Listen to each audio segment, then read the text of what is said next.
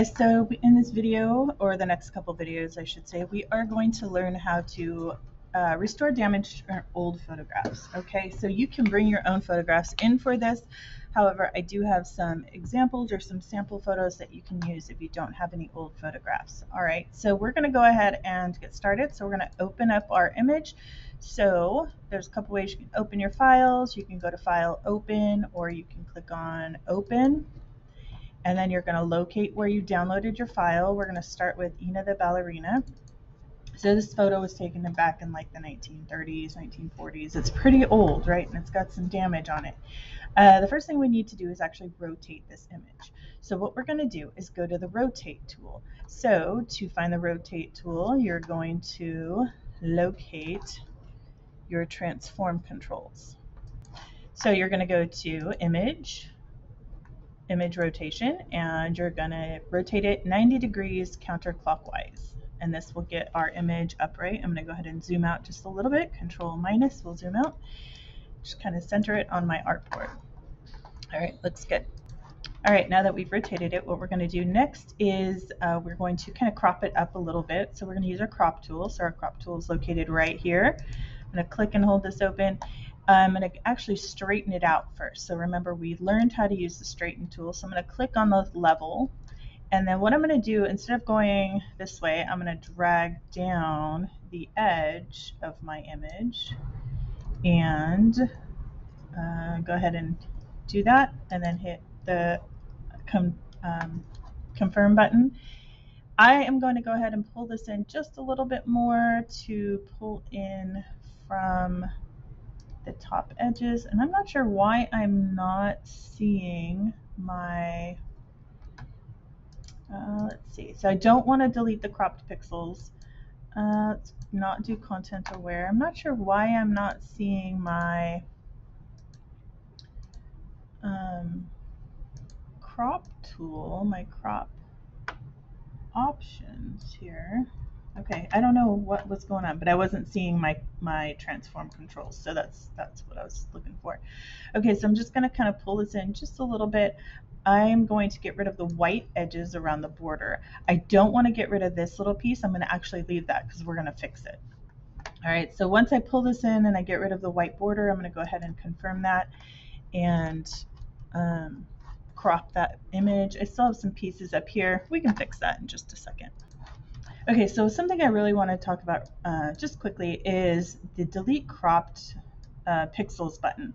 So before um, Photoshop in previous versions didn't have this option and when we cropped it it would crop out pixels and it would be that would be it we couldn't go back to change it um, but now we have this option to either check or uncheck this button I like to often leave it unchecked because if I need to go back and add um, pixels that I've maybe cropped, um, this is a good option to be able to have.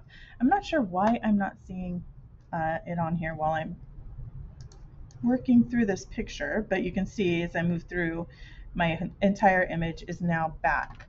So um, I just like to leave that unchecked. If you do delete cropped pixels, what that's going to do, it's going to get rid of them forever, and you won't be able to go back and fix them. So this is a non-destructive button to leave unchecked um, to do the um, the cropping with your image. So again, I'm just going to kind of shift this a little bit. I am not sure what is going on. Original ratio, ratio.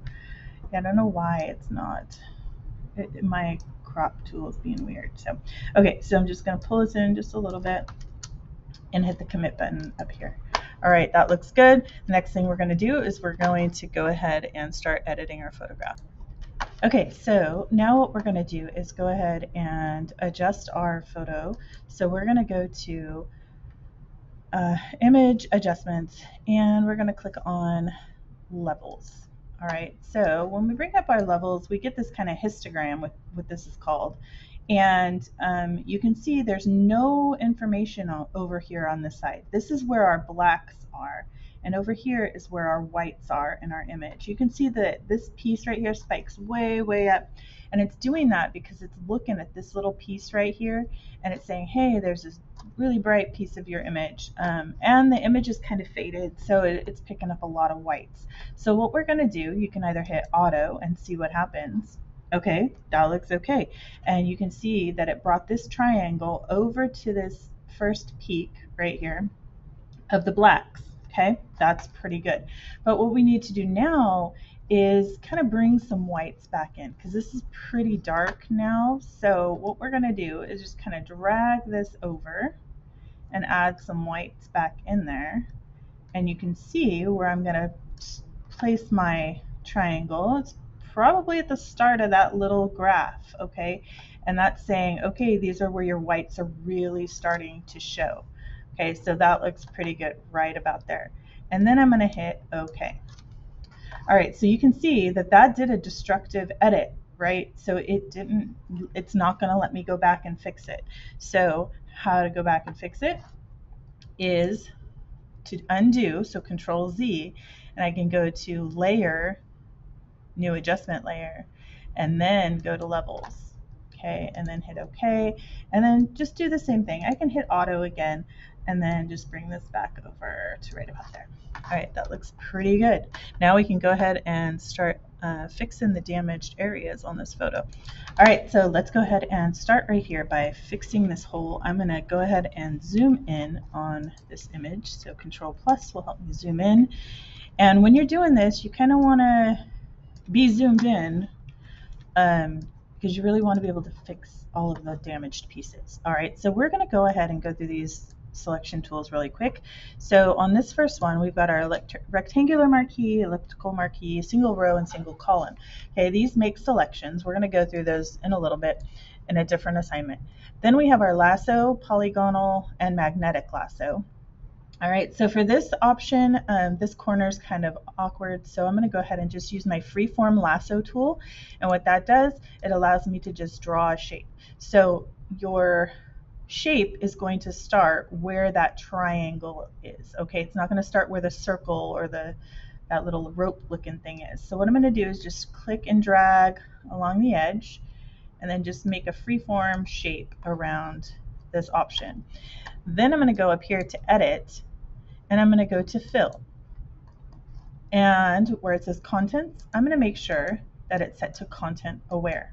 Okay, this is going to say, hey Photoshop, look around this image and find pixels to fill in this section. So I'm going to hit OK.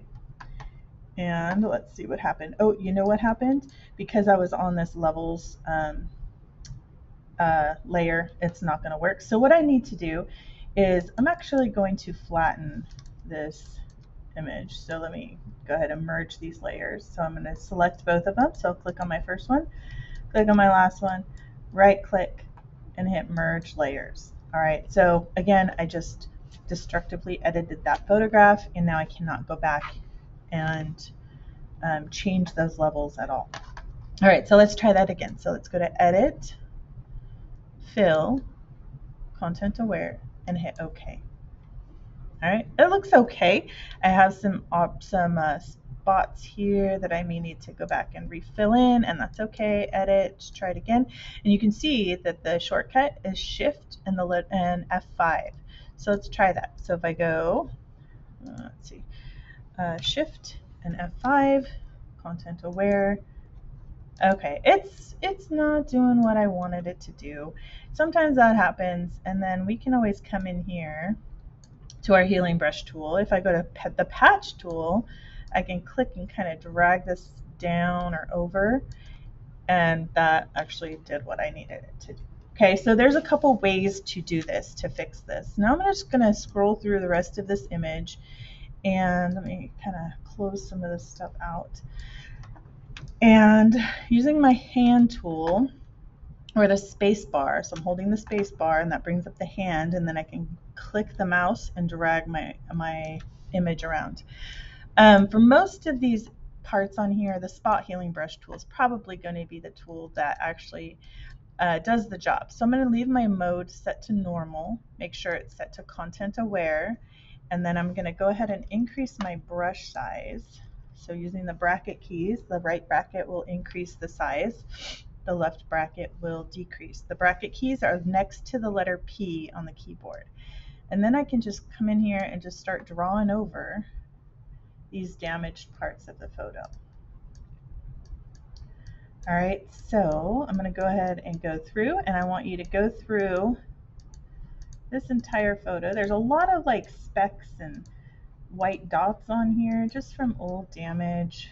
Um, but I want you to take your time, go through the image, and properly fix everything that is uh, damaged. Okay, so we're going to kind of restore it even along this edge here. Okay, so I have this edge right here and I'm probably going to have to use the patch tool for that one because I didn't crop it enough. So I'm going to use the patch tool and I'm going to click and drag it over and that filled it in.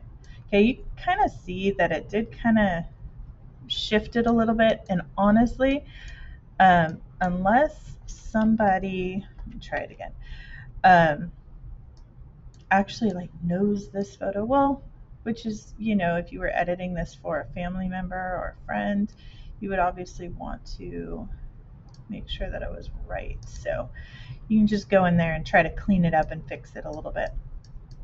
All right, so you're just gonna repeat that process, go through the entire image, clean up all of these damaged spots. When you're all done, you are going to save your file as a JPEG. So, and even on her dress. So there's spots here on her dress that you'll need to go in and fix and heal. So when you're done, you're going to save your file. So go to File, Save As. Uh, make sure to name it your first initial last name.